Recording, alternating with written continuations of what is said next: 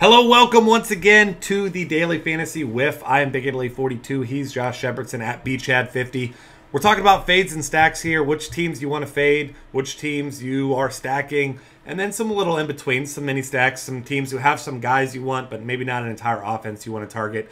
And we'll go game by game here, give you the odds and everything. So starting off, Colorado at Washington. This one, Eddie Butler against Stephen Strasburg. So you got, well, I, will say at times both these guys have been punching bags. But uh, Stephen Strasburg minus 200 favorite, eight run total here. Obviously, some runs expected to be scored here. Strasburg coming off of his final uh, minor league performance where he struck out 11 of the 21 batters he faced. So we know the upsides there with Strasburg. We know the consistency has not been there. But uh, due to his price tag and the fact that the Rockies are just god awful on the road, I'm not stacking the Rockies, and I think that you're with me there as well. Uh, yeah, I mean, I, I, like the idea of using Strasburg. Uh, do not like the idea of using the bats in the Rockies lineup against Strasburg, even though he has been inconsistent. We've seen him leave starts early due to injury. We've seen him be ineffective. Um, there, uh, that that lineup just does not look the same without Troy Tulowitzki. Corey Dickerson's on the DL again, and uh, it's funny how they just don't quite hit the same outside of the thin air at Colorado. So uh, I think you use Strasburg. I think you uh, fade the the, the lineup there for the Rockies, but you certainly don't fade the lineup for the Washington Nationals. Um, maybe this isn't quite a David versus Goliath matchup, but uh, Eddie Butler is something other than a giant. We know he's uh, been getting pummeled by lefties, been getting pummeled by righties, and uh, he's probably thrilled to not be at Coors Field today but it's not going to matter. He's been getting knocked around by everyone, and the Nationals do have some some very interesting bats. We, we like guys like Anthony Rendon, Bryce Harper. That guy's pretty pretty okay at baseball, from what I understand. Yep. Um, and even some of their their non-flashy names. Yunel Escobar gets to lead off. Um, on DraftKings, you can use him at shortstop, which is a nice position to fill with him. Um, You've got guys like Wilson Ramos who have some power. Fill up another position that's not exactly loaded with talent tonight. Uh, a lot of things you can you like about this Nationals stack, and uh, a lot of things that a lot of people are going to like about the Washington Nationals stack. So you might have to get a little bit creative tonight if you want to be different. I do expect it to be one of the more popular stacks. Uh, something I had said uh, prior to recording the podcast when you did a little bit of prep. Uh, maybe one way to go about getting a unique stack is dropping Bryce Harper, which sounds crazy. Uh, I certainly want to use a lot of Harper tonight, but uh, maybe swap in Mike Trout for Bryce Harper. Hope that Trout outscores him and you still get some of the benefits of the rest of that national stack. Maybe stick a different part of the order. Maybe grab two mini stacks, grab a mini stack at the top and a mini stack near the bottom of the order because you do have guys like uh, Desmond and Ramos, who are not hitting it in the uh, top top five lineup spots. So maybe grab some stacks and, and leave some guys out. But uh, this is one that we do expect to be popular, but popular for good reason tonight. Yeah, I'm with you there. I think that's a very unique way to go about it. Um, I. You mentioned that, so I will definitely be doing that in at least one. So we'll, we'll see where our lineups differ in, uh, in in said tournament. But it'll it'll be a fun a fun night to do that with because, like you said, all these Washington guys in play. Um, Boston at Detroit, Alfredo Simon versus Wade Miley. That sounds like a recipe for stacks, if you ask me. And you're looking at this one here. It's got a nice, nice, healthy total of nine runs. Alfredo Simon, uh, the favorite by default at minus 115, really just because he's at home, it seems like. Yep. Uh, tw- says 20% chance of showers and doesn't look like any concerns here. The concern here is maybe not having enough exposure to this game because Wade Miley, a lefty, we know some of these Tigers righties actually haven't hit lefties nearly as well as you'd like. They do strike out a lot against lefties, but unfortunately for Wade Miley, he doesn't strike out a lot of batters ever. So what I'm doing here is I'm looking to try to target the cheap batters. I mean, you could play James McCann and uh, Victor Martinez. Both guys obviously catcher eligible on FanDuel, but both guys under 3K. Both guys killing left-handed pitching this year. Victor Martinez obviously the much longer track record there, but um, this is a very viable stack on both sides we mentioned on the FanDuel podcast, you think that David Ortiz will be a popular play. All the lefties from, uh, well, the few lefties, I should say, from Boston against Alfredo Simon. So this seems like a viable stack on both sides, obviously, with the highest total on the night. Yeah, we may not need rain for thunder in this contest if you catch my drift. Yep. Uh, I do like both sides of this. I, I think. Uh, uh, Ian Kinsler should be a popular name at second base tonight. He's been hitting third for the uh, Tigers. I think the most popular stacks are probably going to include him, Victor Martinez, and JD Martinez, all in play. Uh, I don't mind that little threesome if you don't want to go for the full blown Tiger stack. Uh, on the Red Sox side of things, you mentioned Brock Holt is a cheap option. I do like his name a lot. Uh, assuming he gets a decent lineup spot, we'll, we'll see. Um, but this is this is an interesting uh, game in terms of I, I, I think that that high total is going to grab some some people in and have them grabbing some one-offs from this game, but I'm not necessarily thinking that that the masses are going to be flocking to stack this game. Which, if either of these offenses goes off, which they're more than capable of doing against a couple of pitchers who has some gas can tendencies, uh, you got a chance to get paid. So I do like I do like both sides of the stack quite a bit. I, I and I do like some mini stacks in it as well. Yeah, yeah, I'm definitely with you there. And then uh, next up, we've got the White Sox at the Kansas City Royals. Jeff Samardzija, Jeremy Guthrie. We all know the story with Jeremy Guthrie, which is why this is an eight-run total. We got uh, essentially a pick 'em, small favorite for Jeff Samardzija, and uh, looks like wind blowing uh, right to left, so nothing significant there. Jeremy Guthrie is terrible against left-handed batters. In case you didn't know, 406 WOBA, 13 home runs already this season, 744 ERA. Unfortunately, there's not a lot of left-handed bats in this game that you want to get. I mean, we've got Melky Cabrera, who's been hitting the ball pretty well, but he's pretty expensive on both sides. Adam Eaton left last night's game. They said he injured his shoulder. It doesn't seem to me like he'll be playing tonight. So um, Adam LaRoche, a guy who's been very inconsistent. He did homer last night. Really cheap on both sides. So for me, I want to be able to get some exposure to Jeremy Guthrie where I can, but it's going to be tough to go full blown stack. So I think this is going to be a mini stack kind of situation yep. um, on the White Sox side. Yeah, let's see uh, how Robin Ventura arranges his left-handed bats, and uh, maybe pick a handful of lefties that are grouped together in that lineup against Guthrie because he is just so terrible against lefties. But I'm with you. Not a lineup, and and in addition to not being a lineup that has a lot of length, you've also got two first basemen basically. I mean, Jose Abreu, you can't play him and LaRoche on, on your rosters together on either Draft uh, Kings or FanDuel, so that kind of takes a bite out of the uh, the full blown stack, but some mini stacks are definitely in play.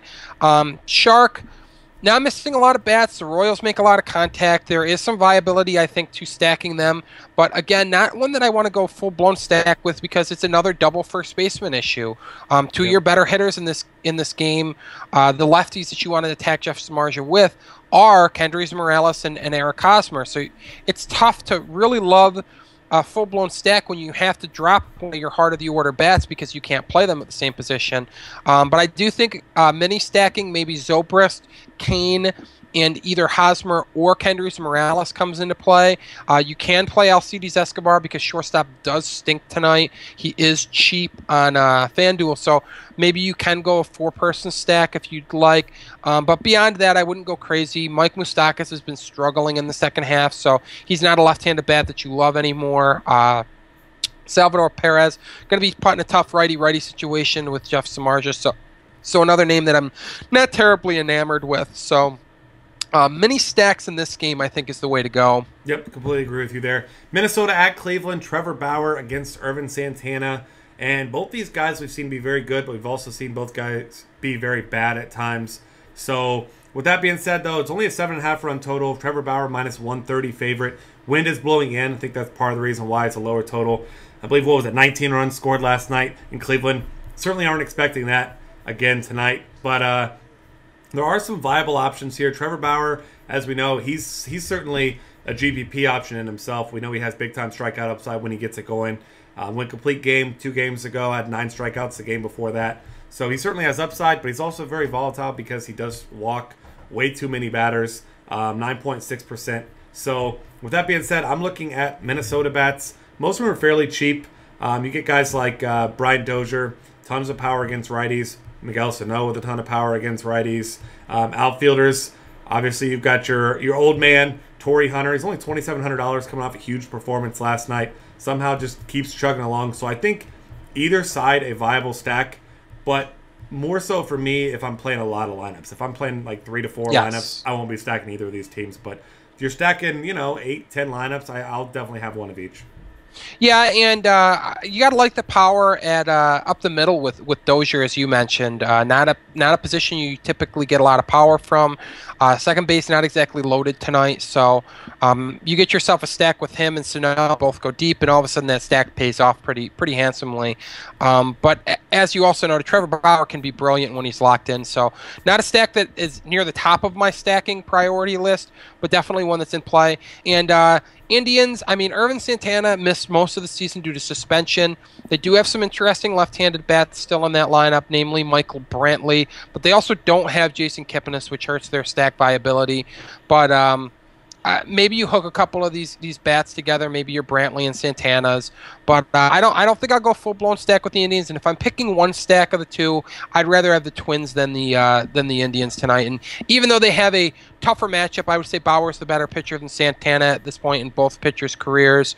But uh, there's a little bit more thump on that Minnesota side of things, or at least a part of the lineup that you would stack for Minnesota. Yeah, absolutely there is. And then uh, your our next game up, Miami and Atlanta. You know the drill before we even go here. Seven and a half run total.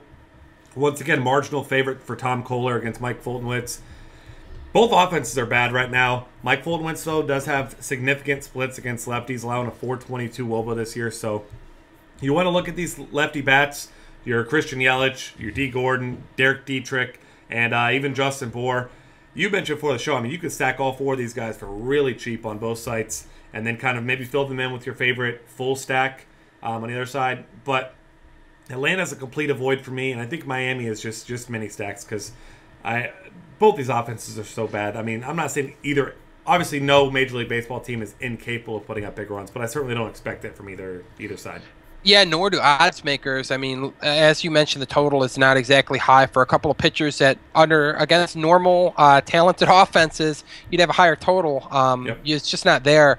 Uh, I do think Foltynewicz is an interesting GPP play, uh, namely on FanDuel where he's fifty nine hundred dollars.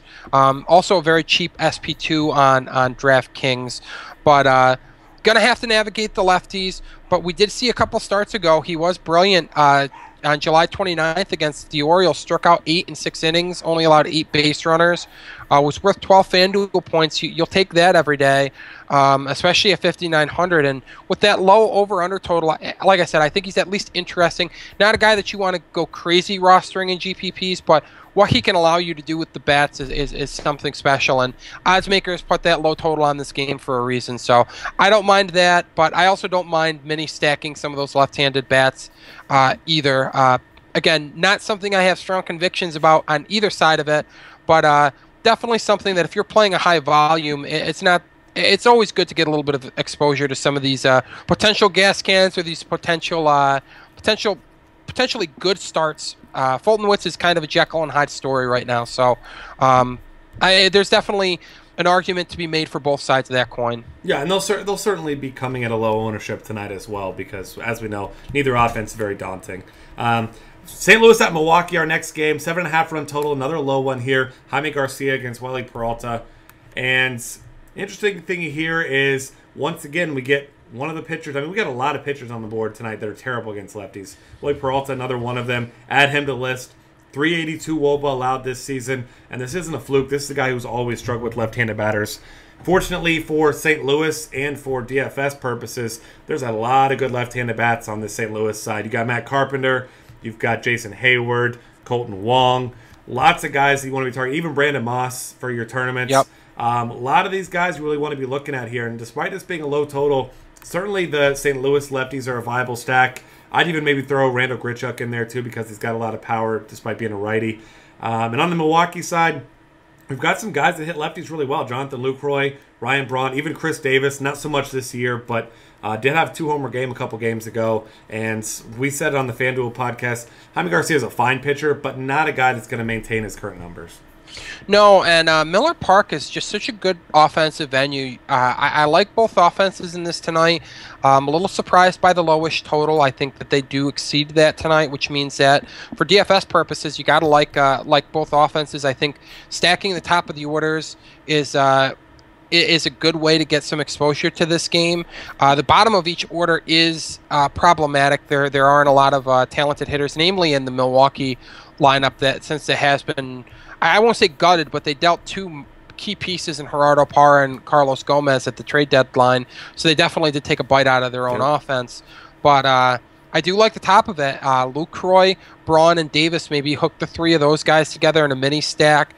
Uh, the lefties in the, the Cardinals lineup look pretty good, uh, as you mentioned, and then most of them hit at the top of the order. You got Matt Carpenter, Kolten Wong, and uh, Jason Heyward all hitting within the first four spots in the lineup. And then, as you said, you could drop in Grichuk for power, but you can also drop in Jhonny Peralta to fill a bad shortstop position and uh, get, get a guy that, that is above an above average hitter against right handed pitchers, same handed foes. So uh, I, I do like uh, that stat quite a bit. Yep, I'm with you there. And then uh, next up, Cincinnati at Arizona. This one was a big disappointment for those of us looking for a big game in Chase Field last night. 2 0 final. But as you can see by the salaries here, neither one of these pitchers guy you want to avoid. Robbie Ray against Cavius Sampson, I believe it is. Is that right? Uh, Kivas, I think. I don't know. Kivas, I, okay. That, that sounds better anyway, so we'll go with that. Eight and a half run total. Robbie Ray, minus 140 favorites. Um, obviously, this one in the heat, but there's a there's a roof, of course, at Chase Field. Vegas expecting this one to be one of the higher scoring games, and we tend to agree. We already mentioned on the FanDuel podcast, Paul Goldschmidt is uh, a travesty of a price at four thousand dollars. Get him in where you can. Another guy who's hitting the ball really well, better against lefties than righties, but Wellington Castillo just continues to rake. He's got in his last ten games seven home runs. So I don't know. Maybe you're confused by the price. Certainly not if you're paying attention to what he's doing. He's crushing the ball. So both sides of this viable. I mean. The Reds, one of their, their best hitter, of course, Joey Votto, actually hits lefties pretty well. So you got to like Votto. You got to like other guys. Brandon Phillips at the top of the order hits lefties pretty well. We know Todd Frazier has a ton of power against lefties. And then even the Arizona outfield, you got um, guys like David Peralta, Ender Inciarte, and of course David Paul or not David Pollock, uh, AJ Pollock, who can uh, really do it all. Yeah, and uh, the the thing that could get Sampson into some trouble, and we discussed it uh, in show prep, is that uh, Sampson has some walk issues in the minor leagues. Yep. If he struggles with his control today, plus some batters on, all of a sudden that's a recipe for a uh, three-run shot from Paul Goldschmidt and some points for everybody involved there. Um, and and Ray. Uh, has pitched well, but his ERA estimators do suggest that he's due for some more regression. Uh, there are some lefty mashers in that, that Reds lineup, uh, namely Todd Frazier and Marlon Byrd.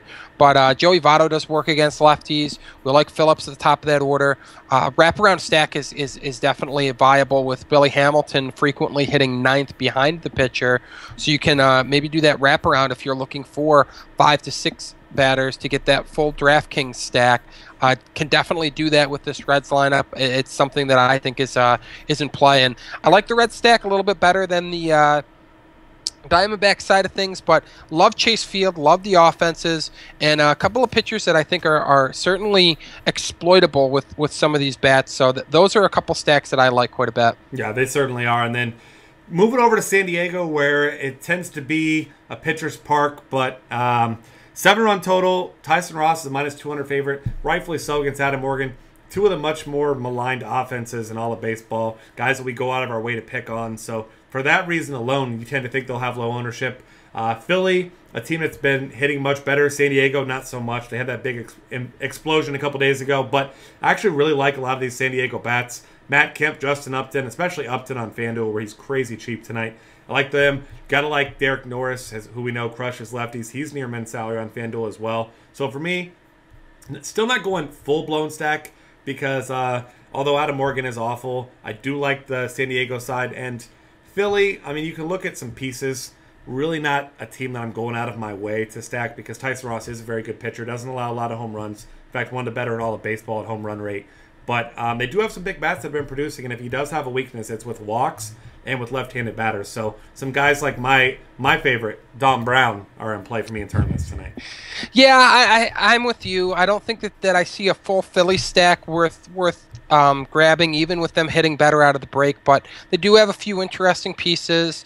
Um, some of these lefties uh, do make for for a good get against Tyson Ross. Uh, depending on who's in the lineup, obviously Chase Utley's back. He bumped Cesar Hernandez to the bench yesterday, but um, the righties that you named from the uh, the the Padres make for a nice little uh, three three person mini stack, uh, especially if they're slotted where I expect them to be. Maybe Norris hitting second, uh, Kemp and Upton filling in the uh, three and four spots in that lineup. You got a nice little two through four mini stack with with some guys who hit left-handed pitching well, and Adam Morgan really bad against right-handed batters. Uh, since 2013, he's allowed a 383 WOBA to uh, the right-handed batters that he's faced. All, uh, I'm sorry, all uh, 128 of them. So it's not exactly a huge sample size, but it's not tiny at this point either.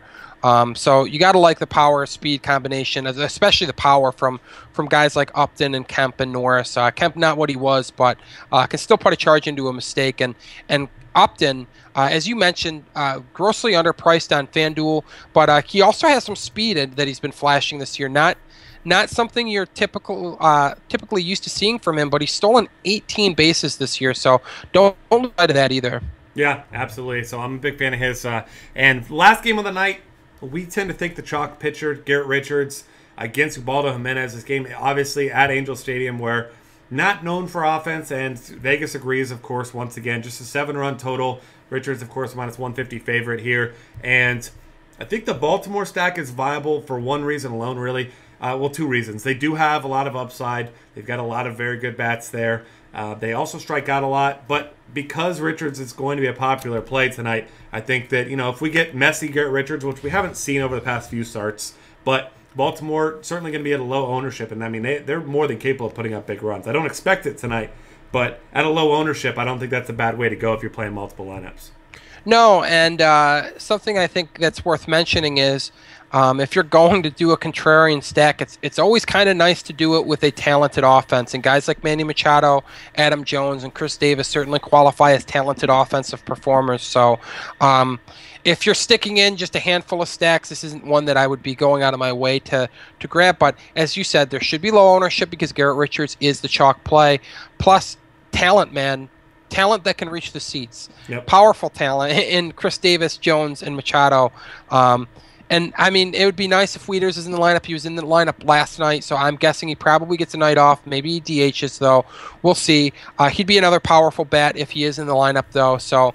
Um, it's it's not my favorite stack of the night because they are facing the chalk, but from a game theory standpoint, it's a pretty good one. Yep, absolutely. And then uh, you know the Angels, of course, never really a full blown stack, but you, if you get Mike Trout in your lineup, you get a guy hitting ahead of him and a guy hitting behind him. That's a nice mini stack, regardless of who yeah. the other hitters are. One of them just happens to be Albert Pujols, and those two teammates have more home runs than any other duo in Major League Baseball. Uh, Pujols been struggling a little bit recently. Um, as far as an everyday play, hasn't been bad on the field, but for DFS purposes, hasn't been worth his salary in a little over a week here. But certainly at his depressed price tag, that's a nice mini stack tonight as well. Yeah, and speaking of struggling lately, that would apply to Ubaldo Jimenez, who's pitched less than five innings in three of his last four starts. Um, it looks like the real Ubaldo has decided to stand up and, and show himself here. So uh, definitely like that mini stack from the Angels. Yep, absolutely on board with you there. And that's going to wrap things up. Find us on Twitter at DF Cafe, subscribe to our YouTube channel, and check out all of our great content at dailyfantasycafe.com.